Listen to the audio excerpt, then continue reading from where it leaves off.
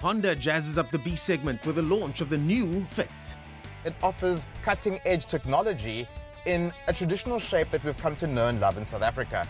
We take an in-depth look at South Africa's cheapest new car, the Bajaj Qute.